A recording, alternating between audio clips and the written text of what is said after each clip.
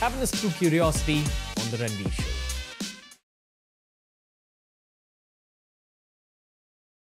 When I was a kid, and I do believe that children have higher intuition than adults. Do you believe that? Yes, I do. When I was a kid, I remember looking at my parents hustling, working. And there was a part of me that always told myself that no, there's got to be some kind of meaning and purpose beyond working for a living. Not to say that they didn't have work life balance, all that was there. I'm talking about something deeper. For better explanation, I used to think that maybe human beings have superpowers, but they need to be tapped. That was my thinking as a child. As I grew older and I read autobiography of a yogi and all these books, I realized I was right as a kid. We do not utilize our entire brains and nervous systems to their maximum capability by just living the life that we're told is a good life, which is go out in the world, make money, etc. Why do yogis even practice that much yoga?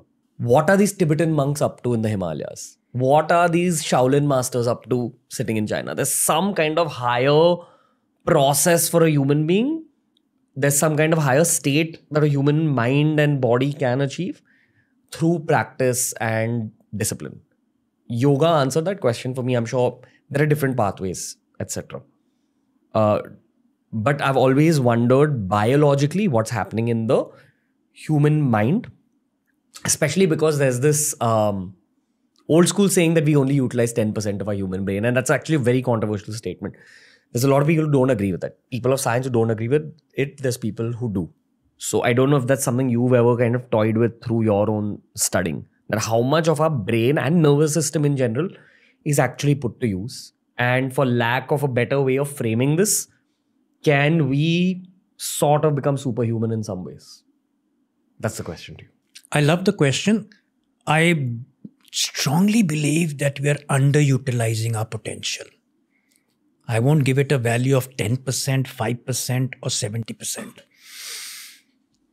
But I also believe in that word of neuroplasticity or neuroelasticity, where we would only use as much as we tap, and we can actually stretch that out tremendously. Today, we are very, very primitive. As we read out some time back, we are just moving from that tamasic to rajasic to sattvic as the first step into trying to get beyond what we know. But there's so much more. And it can be done even the way we are today. The fact that we can do our job and which we as spine surgeons do is detaching ourselves, doing our duty, which is our kriya, but at the same time detaching and doing some sort of karma so that we can go beyond that duality. We just read about the duality. The duality has to be gone beyond. The discernment or judgmental attitude has to go. And you should be there detached yet involved and working like a sthita pragya, something that is not connected for the, the end result or the outcome.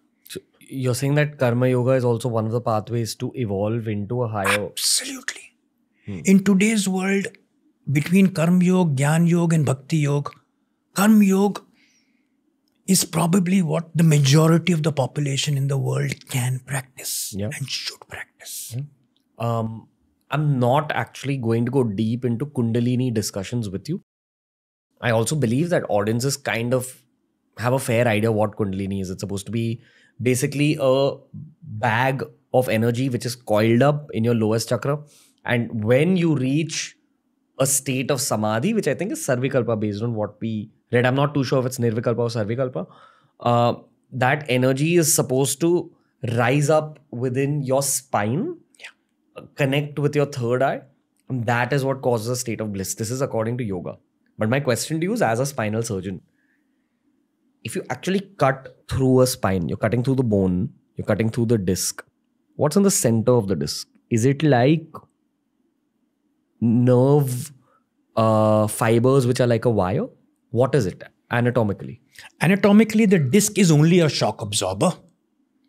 The spinal cord is the nerve. Okay. And it's the spinal cord which is vital.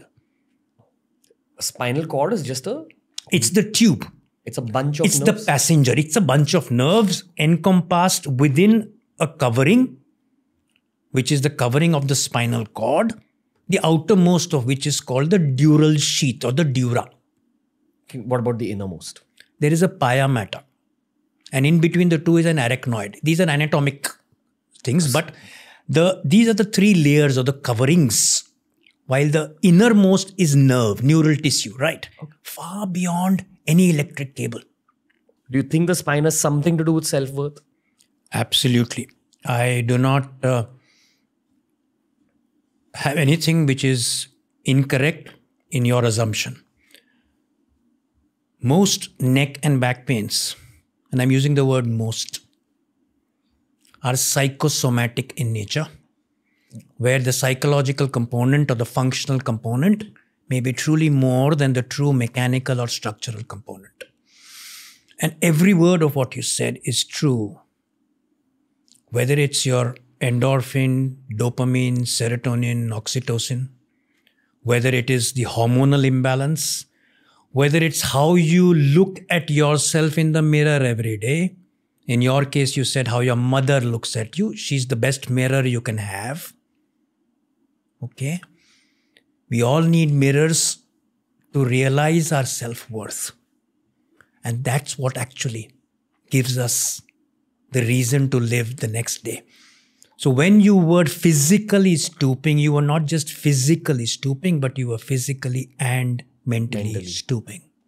And it's been the best thing I've done for both my physical looks as well as the way I feel about myself. Absolutely. Like, uh, I've always been confident and brave. It's just reached another level. Like, it almost feels intoxicating to the point where I would never ever bend my back again. You know, it takes two or three weeks of slight discomfort, not pain, just slight discomfort to hold your shoulders back and to keep your core tight. But once you get into that habit and people start noticing, and you start seeing that now even your workouts are more effective because you're working out in the way that the weights are meant to be lifted, you see better results in every aspect of life. It's I it's one of my regrets for my 20s that I didn't do this earlier in life. You know, fixing my posture, biggest thing I've done for myself. Uh, and I think a straight spine is kind of sexy also. Generally. Great. okay. If you enjoyed this clip from The Ranveer Show, we've uploaded a ton of other clips related to a ton of other topics. So explore the channel because there's something for everyone.